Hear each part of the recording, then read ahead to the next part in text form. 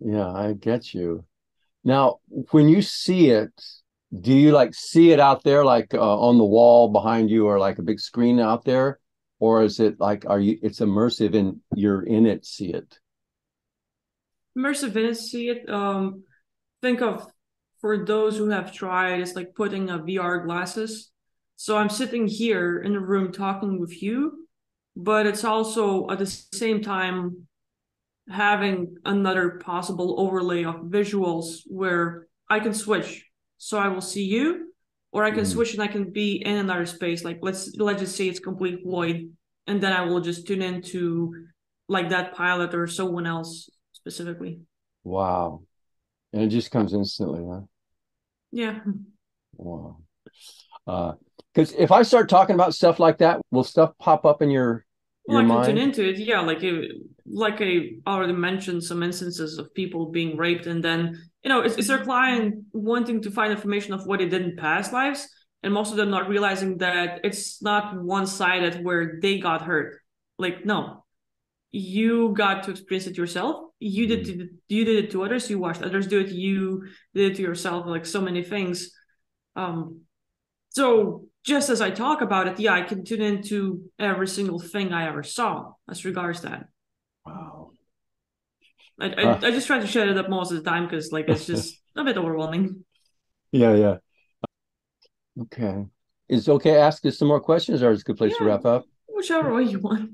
Yeah, yeah. Let's uh, I got some more curious questions about uh let's say they have a particular kind of uh, a specific entity that's bothering them and uh, usually there's more than one more than one kind and all that stuff. But let's say we got a client and we've got things sorted out and there's a particular entity that's bothering this guy. Do you see it like lingering on or hanging on to the guy or how does that work your perception of a specific entity that's i usually tune into that void where it's blanking out everything else except me and the beam so if you're sitting there, I'm not going to tune in to see an entity flying around you.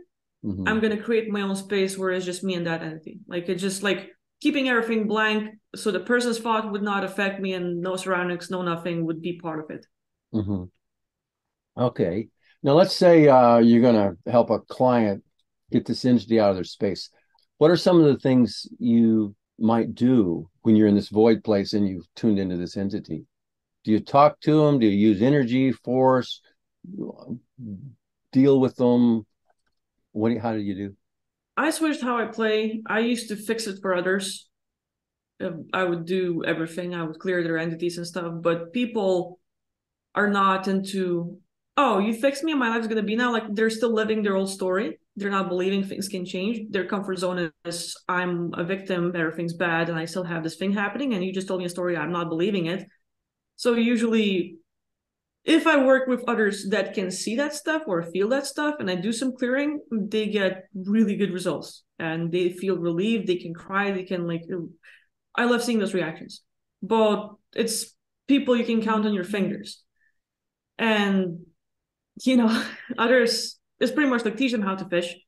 Hey, here's a technique we're gonna use. It's gonna be recorded you can rewatch it and take notes or watch your videos and do it yourself if you want to again on any other subject. But uh, we just guide the person through steps. They do themselves and they finally feel like they did something mm-hmm. and these results. Because if i just tell someone yeah remove some stuff and they're not feeling it they're not going to believe it they're not going to buy it they're going to steep still keep on creating issues calling out that entity back recreating it because they're used to it so if they do the work themselves, it's usually a better result.